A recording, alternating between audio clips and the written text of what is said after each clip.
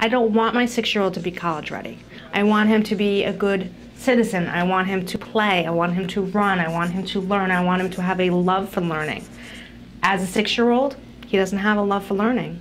They're, they have to read, they have to go into kindergarten reading. In kindergarten, you used to have nap time. You used to have playtime. There's no more playtime. There's math time, there's reading time, there's writing time, and developmentally, these children are not ready. I am a teacher, and my students are more than a test score.